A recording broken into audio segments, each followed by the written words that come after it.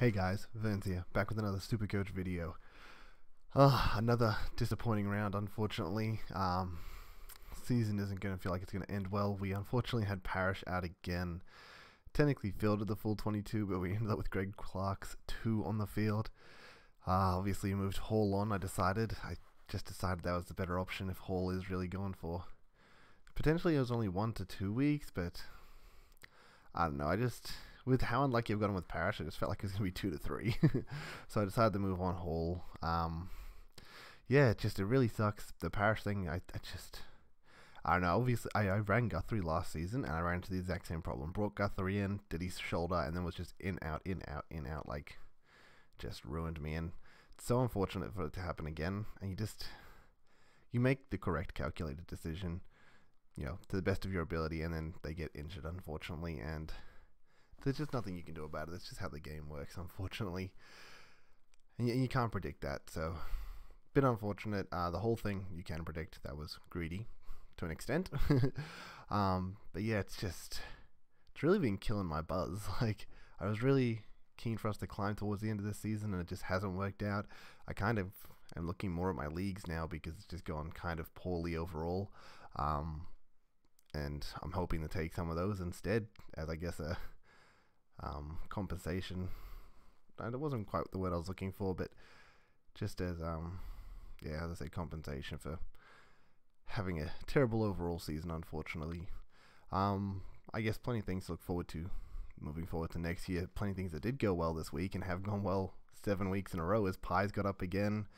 I mean, we really looked like we were going to lose that game, and then that stellar fourth quarter, just like last week, and managed to get over the line and pies are looking good. So at least I'm enjoying watching the pies each week, um, regardless of the super coach outcome. So yeah, 2,239 points this week. Not good. Dropped 1,210 places down to 5,674. This is quite the opposite of how I thought the season was going to sort of pan out moving forward. Um, obviously, it's super late at night. I've got to be honest, guys. I was watching Stranger Things. Um, I started season one like a week and a bit ago because everyone was really hyping up how good it was. So kind of smashed through that, and uh, yeah, I was out watching that again last night in season four. Uh, just watched the first two episodes, so please no spoilers in the comments. I'd appreciate that, but that is honestly why it's so late. I really could have come in and done it earlier, and I just yeah, I was just distracted watching that.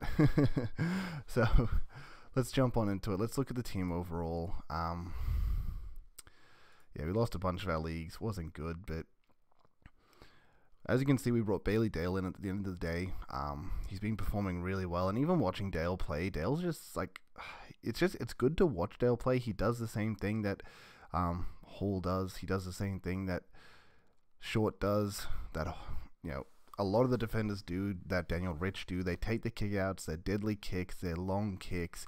They get the handoff. They get the 50 meter goal and they just they just relied on to kick the ball out of defense because they're just deadly kicks. And Dale is one of those players that I mean, last week specifically, I remember watching him just absolutely teeing. I think maybe Bontempelli up inside, like just an absolute bullet of a pass, and it just nailed him right on his chest. Like it just, it's so satisfying to watch. So having Dale on the team to watch that and like be even more hyped up for those absolutely centimeter perfect kicks, pretty keen for.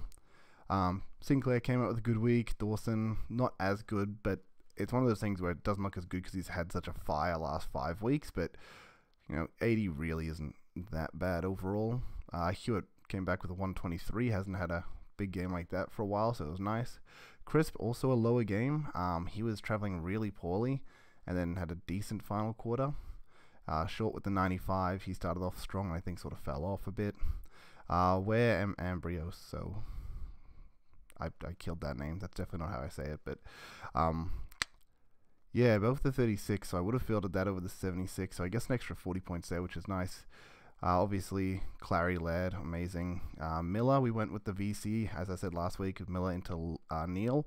I was kind of tempted to even push for Neale, but decided against it, which, you know, you, you, should always take a 135, and it was shown right here exactly why you take that 135. Uh, Neale comes out with an 89, and I know a lot of people had captain on him going into uh, Essendon. So Macrae comes out the 100, Kelly the 110, Cripps the 92, and then Greg Clark with the 2. So, yeah, it really sucks that Parish was out again. Super annoying. Um, Witts game with 117, not bad. Darcy 111, they're pretty nice scores. Uh, and Williams we just used as a loop. And then Bont with a good score. Dunkley, who was like zero at quarter time, like he just wasn't getting into the game. And honestly, I think was lucky to get it the 62. So really brought it back. Uh, Will Brodie 88, which is nice. And then Parker and Heeney were destroying that game. Uh, mainly Heeney, honestly, and then Parker sort of just caught back up at the end as well. Um, but Lipinski was someone else that was terrifying. I think he was 39 at three quarter time, and then managed to finish off with what is that a 23 point final quarter? I mean, 23 point final quarter isn't a big quarter in any stretch of the imagination, but when you're on 39 points, we'll take that. so yeah, that's how the team panned out at the end of the day. Um, what we're going to be looking at this week, captains uh, Laird into Collingwood, that's just way too good to pass up. Definitely doing that. Um, and then I think the other one you can maybe look at here is we can go Oliver, even Miller into Essendon isn't bad. I think they're probably the best ones. I mean, if Hall ends up playing this week, that really sucks. But I mean, if you ever want to trust Hall, sure. Uh, I think it's just yeah. If you have Laird, you probably just run Laird into Collingwood, hundred percent, and then whoever you want to put the C on after that. If that doesn't work out, feel free to. But I think this is a pretty good one. Like Laird will be pretty safe, and I think won't even have to rely on anyone else after that. So yeah, I think it's going to be that simple for you. But outside that, as I said, Clary, Miller. If you really want to risk a parish, go for it. Oh, let's switch that around again. Ooh, lucky us. Um, I don't even know who's going to get named. Probably nobody let's just hope the team plays. Let's just hope everyone plays. That'd be really nice. Um, I guess we can have a cheeky look at the leagues. Like with with the leagues, the one that I guess I mainly focus on here is the Vern's YouTube one. As you can see, the rest of those I'm kind of tanking, and a lot of them too. We actually dropped down to tenth because we just lost to the bottom of the ladder, um, which really sucks. Um, did us by I think eight points or so. But as I said, I've had a really terrible last few weeks it really sucks. Hindsight's twenty twenty. Um, we're just outside of obviously the eight there. Hopefully, you can push yourself back in and then finish strong. Lost most of my leagues, which really sucks. Oh my goodness, am I out of the top with shorties as well? Man, I have really been losing. Yeah, one and four. Wow, I'm just getting smashed now. Ah, really disappointing to see. Really disappointing. Oh well. But yeah, I think hindsight 2020. If you know, if Parish was like anyone else, if he was Walsh, if he was Merrett, I think Merrett would have been the best one because one Merrett's gone off, but two save a hundred k, and then that meant that I could have been a bit more aggressive, maybe pushing towards something else, maybe moving Lipinski up to a Liberatore or something like that. But oh well, oh well. Um, as I said, hindsight's twenty twenty. Can't predict that. We couldn't predict bringing Stewart in and then Stewart going out. Parish coming in, Parish getting injured. The whole one, as I said, was predictable. That was just a bit greedy of me. It sucks. It sucks. I think uh, looking at my team as well, weak links here. Short has been very much underperforming. Um, but overall, really hasn't been too bad. Just his last five weeks, I think his average is going to be absolutely dreadful if we look at that. I would love to move short on if possible, but I just don't think it will. Yeah, these three and five round averages terrible.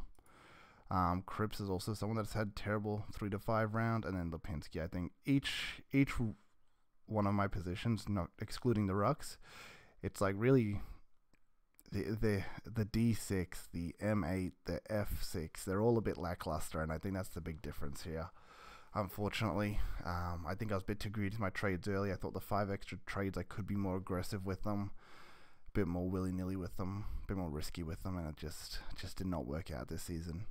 But that's fine. We bounce back. We look at next season. Um, plenty of things to reflect on that I'll reflect on at the end of the season. But yeah, I guess that's it overall, guys. So thanks for tuning in. Um, sorry it's just been so disappointing the last few weeks, but let's just hope for a bounce back this week. If Parish comes back this week, I've been pumping out like not the worst scores, and a lot of them were with 21 players basically. So hey, if we can just the rest of the players up their game just a little bit, and then Parish actually back and comes out with a good game into Gold Coast, like we could generally push like a really good score. We really have the team for it, so Just gotta have a bit of faith. Anyway, once again, thanks for tuning in. Thanks for liking, subscribing, still watching the videos, even though they've gotten a bit disappointing to finish off the season, but I'll keep putting them out. So, thanks again, everyone. Peace later.